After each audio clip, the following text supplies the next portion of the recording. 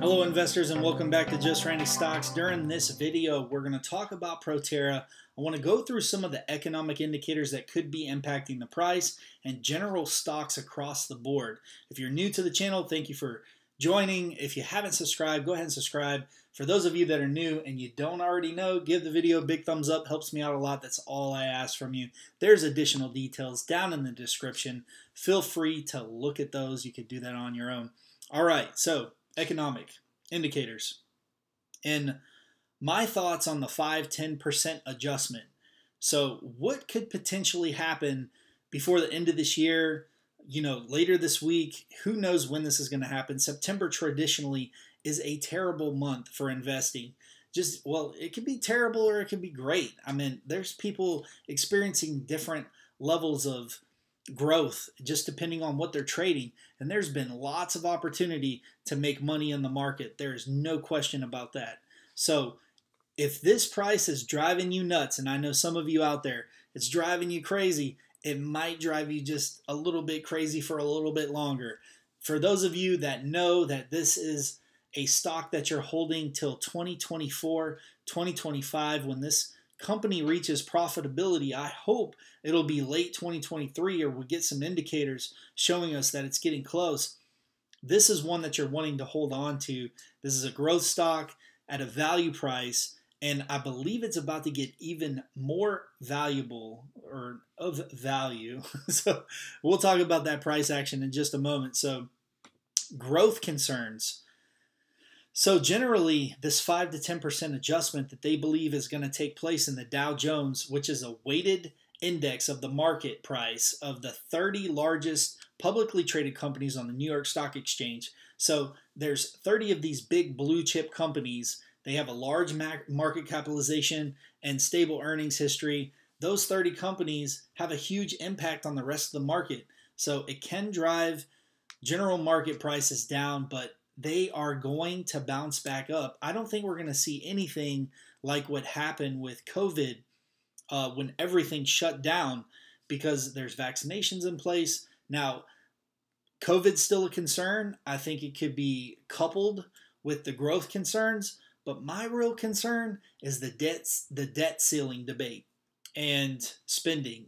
So somehow this is going to create an issue if it's not handled rather quickly, and it could result in something happening in the middle of October. So keep your eyes peeled and really do some reading and research. If you'd like to stay ahead of this, put some money aside because these create amazing buying opportunities. And I guarantee you, the smart people are putting money aside to take advantage of these dips. So we could see some red in the market tomorrow, but those are my opening remarks on the economy portion. Let's go ahead and get straight into the technical charts.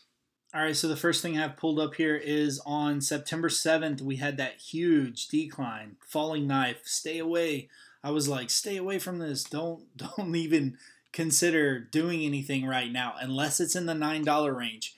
And the $9 range hit and you'll see it very respectfully bounced off of this $9 range here, $10. Like when it went below 9, it aggressively came back up and it did this a few times until today where it started trailing off and now that's why I wanted to give you guys price update and I drew in some support lines that I want to see it hold $9.10 and $8.92 and the way that I got this was basically I just zoomed out went back here to our previous levels and I just believe that it'll be more valuable if it dips down into this range than to mess around with it in this open area between 1017 and, and 910. So I've got a resistance level of $10.17 and $10.33. Uh, now, of course, if it busts this, if it busts through this, then this could act as support. And you know, hopefully, hopefully it doesn't come down here into this range, but I wouldn't be surprised if it did. So I would say just hold, and if you are buying in the nine dollar range, you know, great. And I could be completely wrong with these zones, but I would just say be mindful because I know I only cover this about once a week uh, of these these potential previous areas where we did see support. So built built this chart out just using what has happened in the past. That's that's it. Okay, so we're looking at I wasn't if you remember last time I looked at this Bollinger Band and I was like, man, just stay away from it because I can't even make sense of the chart. This Bollinger Band typically makes sense, and you'll see it, it got up here, got up into this upper range, the two deviations uh, of this higher shaded area, this this limit up here, and came back down, but not enough to to signal a buy, and that's why I'm going so low and back here in the eight dollar range. Is I'm anticipating that this potentially goes down. So right now we're under the line. It's really on top of the line. You can't really tell. So this is the best representation of the chart. Feel free to go in here and check it out yourself. But I did the, the I put it on three month and I also put in the 50 day moving average to see if I could make any sense of that. And, you know, nothing helped me there. So you've got my zones uh, previous before. Now, everyone's been talking about how the Dow goes below this 50 day moving average and aggressively bounces back each time. And you'll see it's this purple line, and right now we're below it. Could it bounce back after a day or two aggressively, or does it further trend down? So take your 5% of 34,000 or wherever it's sitting, and that would be between that. I would just go ahead and do the math uh, of that 5 to 10%. Just that's what people are estimating and start tracking this. We had five days of consecutive loss before we had a bounce back, but you could also just use this to check out how that 50 day moving average, that's what people are watching. So the 8K, uh, you can find your filings. You could sign up for your filings for Proterra and check those out. And that's what I did. I, I signed up for it. I can I get notified when these things come through. So what I did was I scrolled through here and there's three paragraphs pretty much or a, B, and C.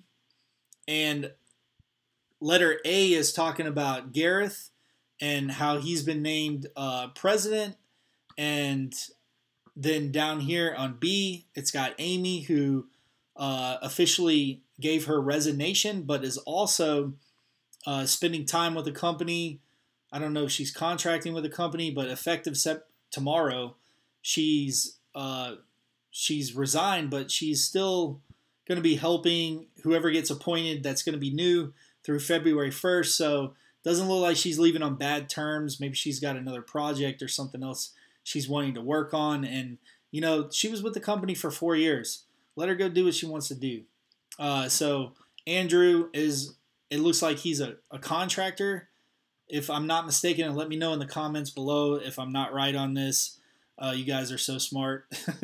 so looks like he's getting a monthly salary of $40,000 and he's going to be there until the board is able to find somebody suitable to backfill this position.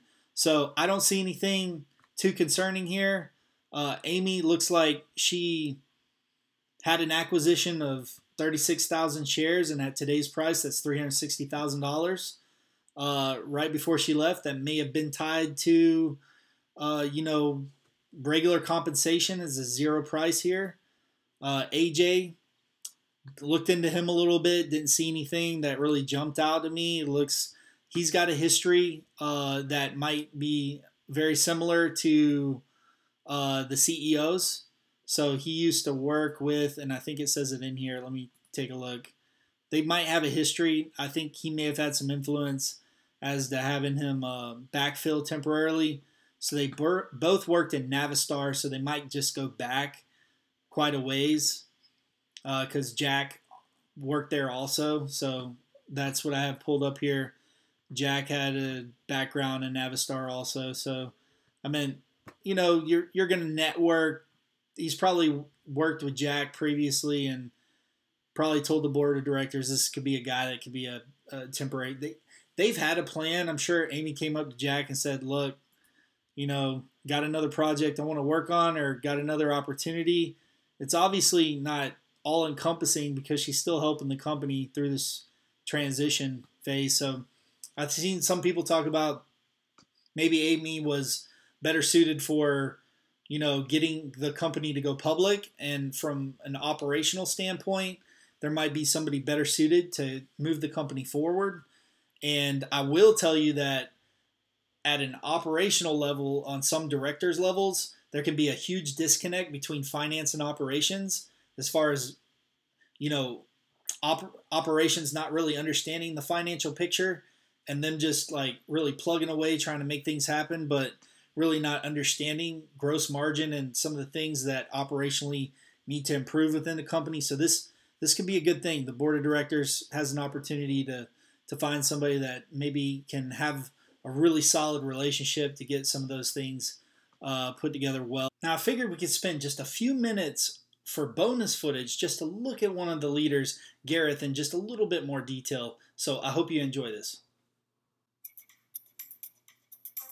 The three things that I would say are relevant no matter how big your organization is. Number one, you have to create a vision for people that allows them to see in their mind's eye what they are being asked to deliver. Without that, people are lost. Um, and so that applies to any business, no matter how big or small.